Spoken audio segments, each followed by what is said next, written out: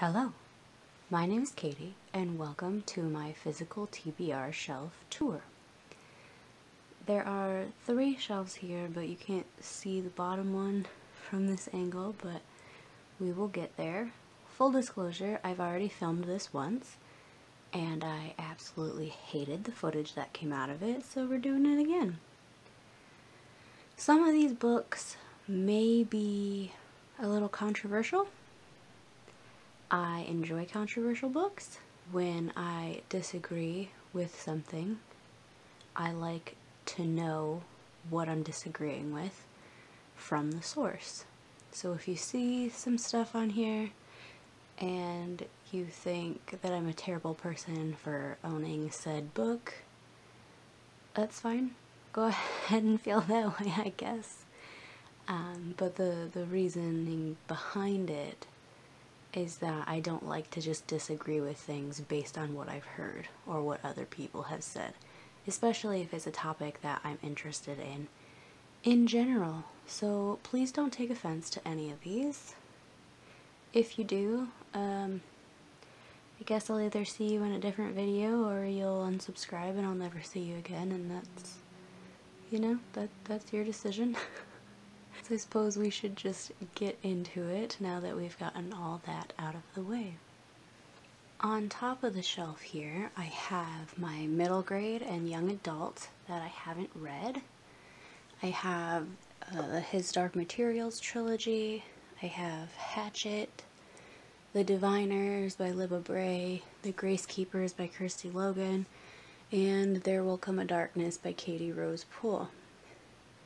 I have actually read Hatchet, but not since I was a child, and I really loved this copy. So I went ahead and bought it and thought maybe I could do a reread but it's been like a year and the reread hasn't happened yet. Starting with the first shelf here, uh, this entire top shelf is going to be just adult books that I haven't read. They all should be fiction, but occasionally stuff gets mixed up, and I just, uh, I don't have the time or the patience to go through things all the time and verify that things are where they need to be. In general, these should be in alphabetical order, but some of the books on the top may kind of uh, not really be alphabetically where they should go. Those sometimes kind of just get shoved up there. Uh, I have Nightfall and Other Stories by Isaac Asimov, Afterland by Lauren Beukes, Fahrenheit 451 by Ray Bradbury, The Alienist by Caleb Carr, City of Brass by S.A. Chakraborty, the Secret Chapter by Genevieve Cogman. I have books 6 and 8 of the Expanse series by James S.A. Corey. I'm not totally sure how I got books 6 and 8, although I did pick up book 7 this month. It's just in a pile for a book haul. Um, and then I also have The Passage by Justin Cronin. At the top here, I have The Awakening and selected short fiction by Kate Chopin and Gulliver's Travels by Jonathan Swift. I've never read Gulliver's Travels, although if you can see, I did start it at some point. However, there was a movie based on the book that I watched several times as a child and really loved it, so I thought maybe I should read the book. Next I have House of Leaves by Mark Z. Danielewski, do Androids Dream of Electric Sheep by Philip K. Dick, The Old Curiosity Shop by Charles Dickens, The Pull of the Stars by Emma Donoghue, Middlesex by Jeffrey Eugenides, The Pillars of the Earth by Ken Follett, Right Behind You by Lisa Gardner, The Last Tudor by Philippa Gregory, A Thousand Splendid Suns by Khaled Hosseini, Never Let Me Go by Kazuo Ishiguro, I have Mr. Mercedes and the Outsider by Stephen King, Confessions of a Domestic Failure, and I don't know how to pronounce this author's name, so I'm just going to show you rather than butcher it and embarrass myself. I have Pachinko by Min Jin Lee, Fire and Blood by George R. R. Martin, Noir by Christopher Moore, and then up here I have The Tsar of Love and Techno by Anthony Marra. Also a book that I started at one point and then never did anything with. I have Bring Me Back by B.A. Paris, Humans Bow Down by James Patterson. I'm actually curious to read this one because I've seen like the majority of reviews on Goodreads for it are terrible, which is partly why I want to read it. Anthem by Ayn Rand, Such a Fun Age by Kiley Reid, The Impossible Fortress by Jason Rekulak. Here, I'll just show you.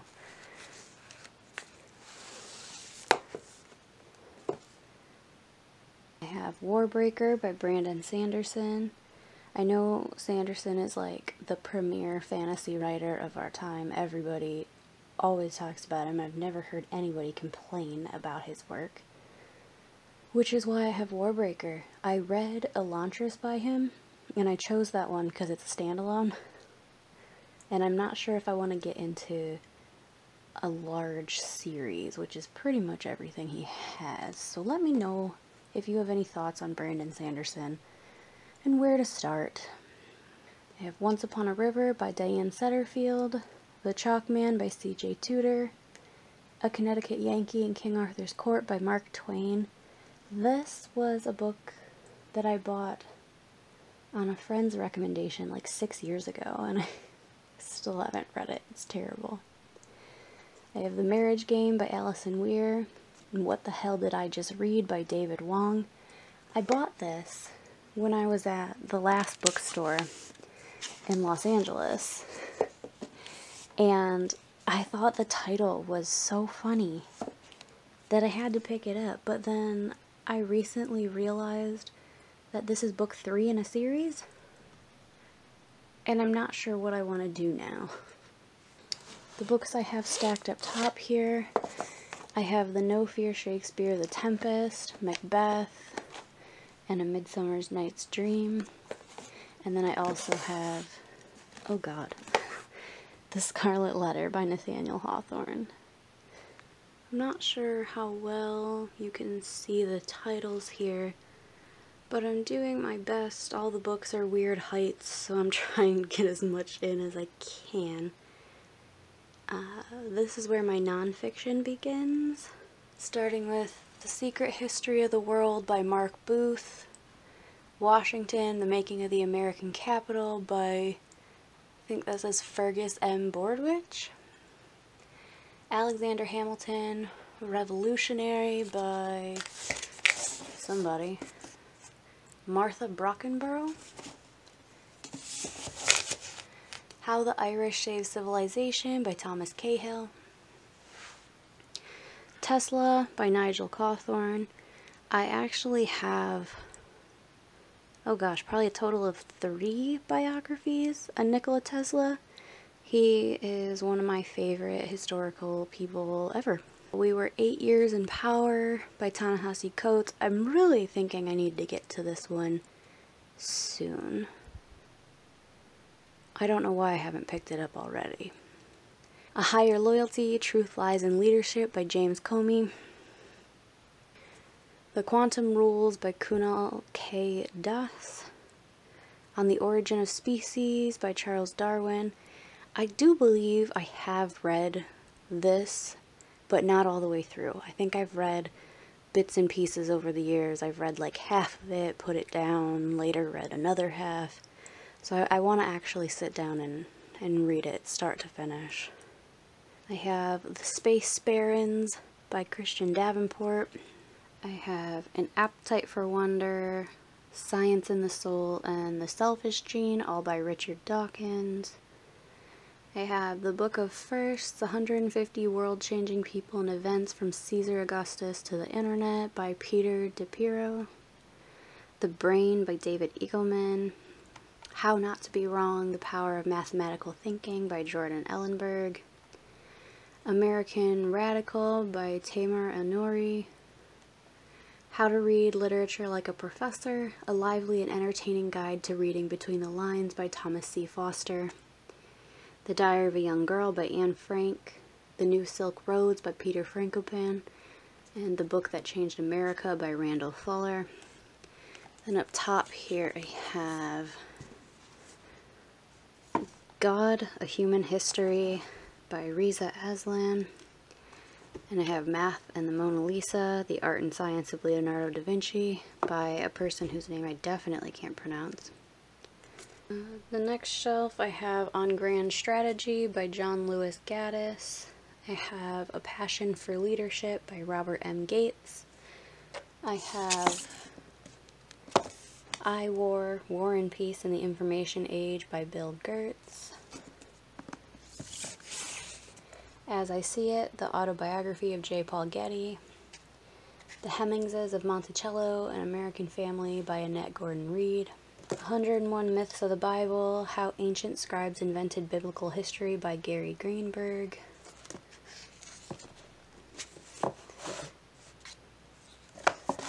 The Fabric of the Cosmos, Space, Time, and the Texture of Reality by Brian Greene.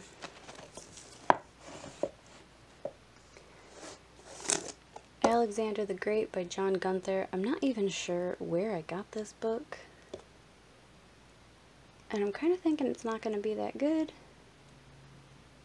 Oh, actually, Incirlik High School. I think this came from when my husband was stationed in Turkey. I think they were like getting rid of books, so he picked a few up that he thought I might want to read. On top of those books, I have The Inventions, Researches, and Writings of Nikola Tesla. I think this is just a Barnes & Noble edition because it doesn't actually have an author anywhere. And it doesn't have as many pictures as I would like. But eventually I'll get to it. Moving down slightly, I have Mythology by Edith Hamilton. This is like a really popular book on mythology, I guess. I've seen a lot of people who have it.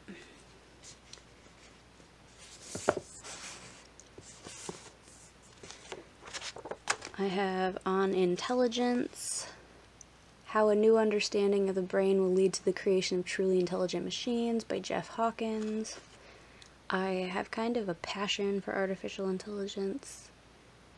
I'm not as afraid of it as most people seem to be. I have The Bell Curve, Intelligence and Class Structure in American Life by Richard J. Herrnstein and Charles Murray. This is one of those controversial books that I was talking about. I heard Charles Murray on a podcast a couple years ago. I think Herrnstein is dead. Um, anyway, he was discussing this work um, because it's what most people want to talk to him about. And a lot of the a lot of the, the questions that I had, mostly about why he was studying this in the first place and why he went about his research in the way he did and why he came to the conclusions that he did, um, he wasn't really answering, at least not satisfactorily. So I thought I'd just pick up the dang book and read it. I'll get to it eventually. Maybe. I have The Buried, an Archaeology of the Egyptian Revolution by Peter Hessler. And Yet by Christopher Hitchens. It's just a book of his essays. I think I got it really cheap at Barnes & Noble. Black Man, White House by D.L. Hughley. Leonardo da Vinci by Walter Isaacson. This is probably the heaviest book I own. I remember picking it up off the shelf and almost dropping it because I wasn't prepared. I have White Trash, The 400 Year Untold History of Class in America by Nancy Isenberg. I recently heard um, Rosie, I'll, I'll link her channel down below.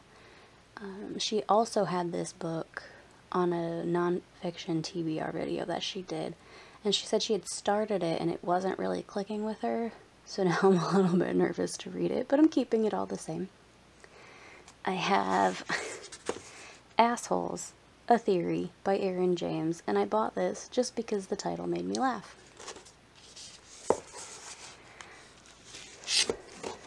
I have The Future of Humanity, Terraforming Mars, Interstellar Travel, Immortality, and Our Destiny Beyond Earth by Michio Kaku. I have several more of his books on the next shelf down, so you'll see those in a minute. Then, sitting on the top, I have Backstage at the Lincoln Assassination, The Untold Story of the Actors and Stagehands at Ford's Theater by Thomas A. Bogar. I'm pretty sure I got this at the Lincoln Memorial. It would make sense. This shelf here is too low to use the tripod, so I'm just gonna hold it, the camera, and uh, hopefully it's not too shaky. I have the rest of my Michio Kaku books, Hyperspace, Scientific Odyssey through Parallel Universes, Time Warps, and the 10th Dimension.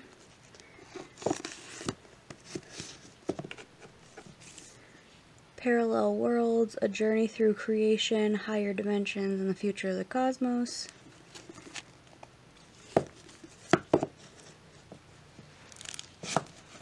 And Physics of the Future, How Science Will Shape Human Destiny and Our Daily Lives by the Year 2100. I have Tightrope, Americans Reaching for Hope by Nicholas D. Kristof and Sheryl WuDunn. I have two books by Erik Larson, In the Garden of Beasts and The Splendid and the Vile. I have Decoding Andean Mythology by Margarita B. Marindale. I think I got this at a museum in Washington, D.C., but I honestly cannot remember which one. I have Status Update, Celebrity, Publicity, and Branding in the Social Media Age by Alice E. Marwick. I got this for school for something, I think, and then never did anything with it. Who thought this was a good idea, and other questions you should have answers to when you work in the White House by Alyssa Mastromonaco.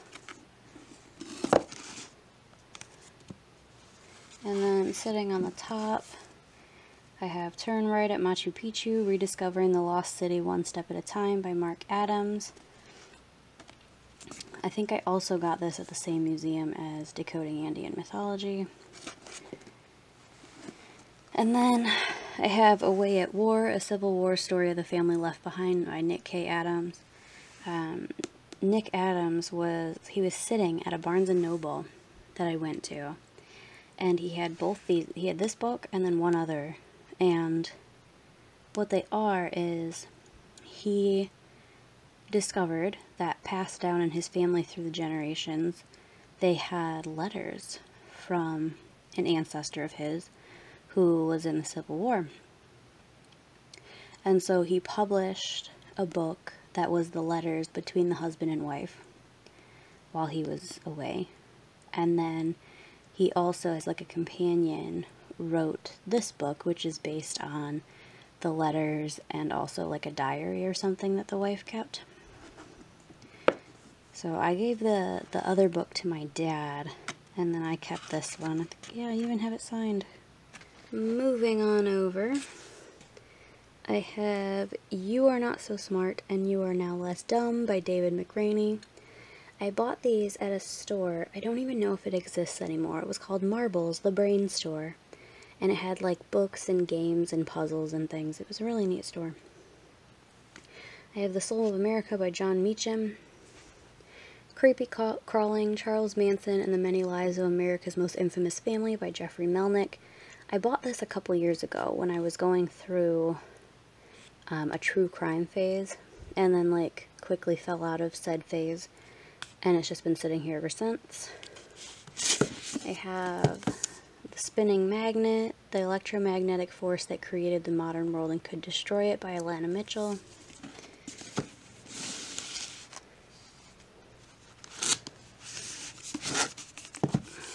What If? Serious Scientific Answers to Absurd Hypothetical Questions by Randall Munroe. I really should read this soon because I think, yeah, it's a lot of like pictures and stuff too. So there's not actually a ton of words. I have Everything All at Once by Bill Nye, The Audacity of Hope and Dreams from My Father, A Story of Race and Inheritance, both by Barack Obama. The Day the World Went Nuclear by Bill O'Reilly. Creative Quest by Questlove. I'm not totally sure what this is about. I honestly think I just liked the cover. Mrs. Sherlock Holmes, the true story of New York City's greatest female detective and the 1917 missing girl case that captivated a nation by Brad Ricca. This uh, is a book my mom recommended. Stiff, The Curious Lives of Human Cadavers by Mary Roach. Reality is Not What It Seems by Carlo Rovelli. I actually apparently started this one and never did anything with it. I have Cosmos by Carl Sagan. 30 Second Brain, the 50 most mind-blowing ideas in neuroscience, each explained in half a minute. Very good for me because half a minute is about my attention span. I have In the Kingdom of Ice, The Grand and Terrible Polar Voyage of the USS Jeannette by Hampton Sides. And then at the top here I have two books that I picked up when I was in Alcatraz. I have Alcatraz Escape Files, which has really cool pictures. And I have Letters from Alcatraz, a collection of letters, writings, and views from Al Capone, Machine Gun Kelly, Mickey Cohen, legendary fugitive James Whitey Bulger, Alvin Karpis, and many other Alcatraz inmates, family members, and prison officials.